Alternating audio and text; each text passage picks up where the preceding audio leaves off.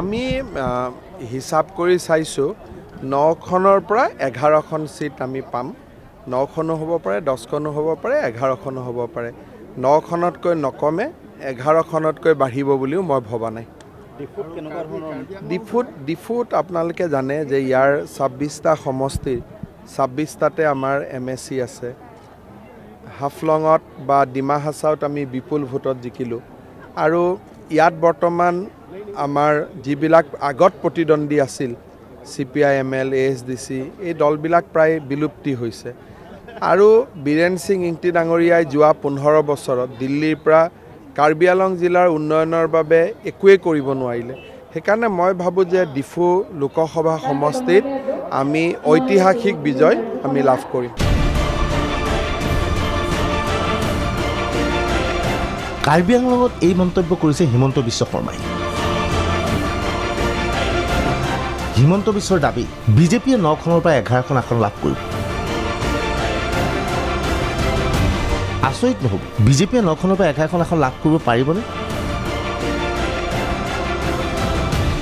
আচলতে কমেও নখন আসন লাভ কৰিবলৈ বিজেপিয়ে ইতিমধ্যে ৰণকৌশল আৰম্ভ কৰি দিছে। যিটো সময়ত দলৰ জ্যেষ্ঠ নেতা হিমন্ত বিশ্ব শৰ্মাই দৈনিক চাৰিখনকৈ নিৰ্বাচনী সভাৰ আয়োজন কৰিছে সেই সময়ত প্ৰধান বিৰোধী দল কংগ্ৰেছে কি কৰিছে জানেনে? নতুন দিল্লীত আজি এসপ্তাহ ধৰি বাহৰ পাতি আছে কংগ্ৰেছৰ আটাইবোৰ শীৰ্ষ নেতা। টিকট বিচাৰি হাহাকাৰ কংগ্ৰেছৰ। টিকটৰ বাবে দীঘলীয়া শাৰী। অসমৰ কথা পাহৰি গৈছে অসমৰ কংগ্ৰেছ নেতাসকলে। টিকট লাগে। তেওঁলোকৰ ধাৰণা টিকেটটো পালে এইবাৰ জিকি যাব। কিন্তু এইখিনি সময়তে ৰাজ্যজুৰি ব্যাপক তৎপৰতা আৰম্ভ কৰি দিছে বিজেপিয়ে।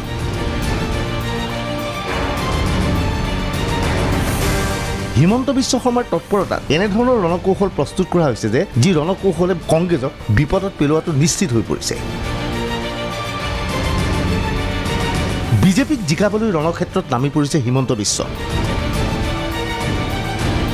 কংগ্ৰেছৰ ভোট ভাঙিবলৈ ন ন কৌশল।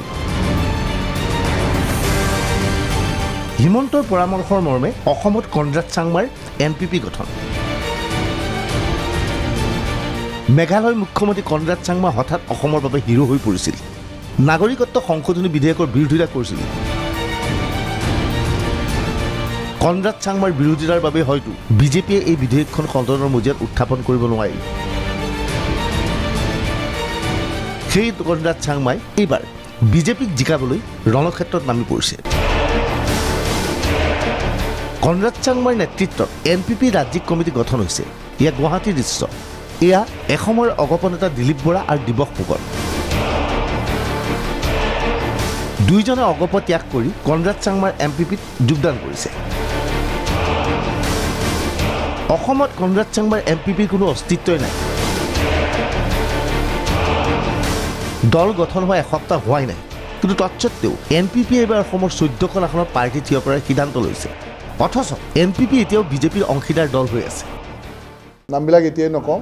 কিন্তু আমাৰ আপোনালোকে দুই দিনতে গম পাবই আৰু। আমাৰ মানে এই ফাৰ্ষ্ট ফেজৰ ইলেকশ্যনৰ লাষ্ট নমিনেশ্যন পঁচিছ তাৰিখে পঁচিছ মাৰ্চ। গতিকে আমি বাইছ তেইছ তাৰিখৰ ভিতৰত ফাইনেল কৰিম সকলো। হয়। নহয় আমিতো আগতেও ডিক্লেয়াৰ কৰা আছে এইটো আমাৰ নেশ্যনেল পলিচি যে আমি পষ্ট পল এলায়েন্স কৰিব লাগিব পাৰে আৰু কৰিমো। যিহেতু আমি এটা আঞ্চলিক দলহে গতিকে চেণ্টাৰটো যদি আমাৰ প্ৰয়োজন হয় আমি পষ্ট পল এলায়েন্স কৰিম। এন পি পি এতিয়াও বিজেপিৰ লগত আছে। তৎসত্বেও অসমত প্ৰাৰ্থী থিয় কৰাব এন পি পিয়ে। বিজেপিৰ শ্ৰুতলিপি অনুসৰি প্ৰাৰ্থী দিব এন পি পিয়ে। কংগ্ৰেছৰ ভোট ভাঙিবলৈ আহি গ'ল এন পি পি। আচলতে এম পি পি অসমত গঠন কৰাৰ আঁৰত আছে বিজেপিৰ শীৰ্ষ নেতা। তদাৰক কৰিছে স্বয়ং হিমন্ত বিশ্ব শৰ্মাই। এন পি পি গঠন কৰিছে এইবাবেই যাতে কংগ্ৰেছৰ ভোট এওঁলোকে বিভাজিত কৰিব পাৰে। এই যে এম পি পিৰ নেতাই ক'লে চৈধ্যখন আসনত তেওঁলোকে প্ৰাৰ্থী দিব কিন্তু কাক প্ৰাৰ্থী দিব জানেনে? কংগ্ৰেছৰ প্ৰাৰ্থীক পৰাভূত কৰি ভোট বিভাজন কৰাৰ বাবে এন পি পিয়ে প্ৰাৰ্থী থিয় কৰিব। উদাহৰণস্বৰূপে কলিয়াবৰত গৌৰৱ গগৈ ভোট ভাঙিবলৈ এন পি পিয়ে থিয় কৰাব আব্দুল আজিজক। সেই সমষ্টিৰ পৰা থিয় দিব এ আই ডি এফৰ প্ৰাৰ্থীও অৰ্থাৎ সংখ্যালঘুৰ ভোট বিভাজন কৰি হিন্দু ভোট একত্ৰিত কৰি গৌৰৱ গগৈ পৰাভূত কৰাৰ ৰণকৌশল প্ৰস্তুত কৰিছে এন পি পিয়ে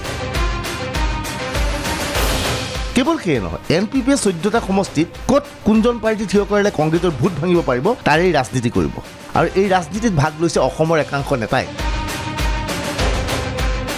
বিজেপিৰ চুটলপি অনুসৰি এইসকল নেতা এতিয়া কাষ চাপিছে এন পি পি এইখিনি সময়তে বিজেপি এইবাৰ তৎপৰ হৈ পৰিছে ডিফু আসনখন ল'বলৈ। প্ৰথমবাৰৰ বাবে ডিফু ল'বলৈ তৎপৰ হিমন্ত বিশ্ব শৰ্মা। ঘনে ঘনে কাৰ্বি আংলং জিলাত সভাৰ আয়োজন কৰিছে হিমন্ত বিশ্ব শৰ্মাই। সোমবাৰে কাৰ্বি আংলঙত নিৰ্বাচনী সভাত অংশগ্ৰহণ কৰি হিমন্ত বিশ্ব শৰ্মাই কাৰ্বি আংলং স্থায়ত্ব পৰিষদৰ সদস্যসকলৰ বাবে বিশেষ পুৰস্কাৰ ঘোষণা কৰিছে। নাযাওঁ পাৰ্চেণ্টেজত যাম। কাৰণ কোনোবা সমষ্টিত কম ভোট আছে কোনোবা সমষ্টিত বেছি ভোট আছে। যিবিলাকে আমাক পাৰ্চেণ্টেজত নাইণ্টি প্লাছ দিব পাৰে তেওঁলোকৰ কাৰণে বেলেগ গিফ্ট। যোনে ছিক্সটি প্লাছ দিব পাৰে তেওঁলোকৰ কাৰণে বেলেগ গিফ্ট। গতিকে প্ৰথম দহটা সমষ্টিক আমি দিছপুৰ আৰু দিল্লীৰ পৰা আমি স্পেচিয়েল পেকেজ দিম এই কথা মই আজি আপোনালোকৰ মাজত ঘোষণা কৰিছো।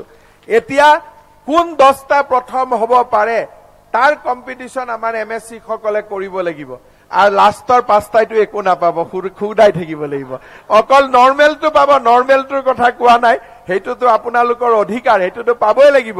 কিন্তু লাষ্টৰ পাঁচটাৰ মুখ শুকাব লাগিব। আমি বাকী কেইটাই চবকে হাঁহি মাৰো দেই চবে মিলি জুলি এইবাৰ আহোঁ বদৰুদ্দিন আজমলৰ প্ৰসংগ। আজমল ধুবুৰী। নিৰ্বাচনী প্ৰচাৰ চলাই থকা অৱস্থাত আজমল সামান্যৰূপে অসুস্থ হৈ চিকিৎসালয়ত চিকিৎসাধীন অৱস্থাত আছে। অৱশ্যে শীঘ্ৰে আজমল সুস্থ হৈ উঠিব। ৰণক্ষেত্ৰত নামি পৰিছে বদৰুদ্দিন আজমল। কমেও সাতটা সমষ্টিত বিজেপিৰ নিৰ্দেশত প্ৰাৰ্থী থিয় কৰাব।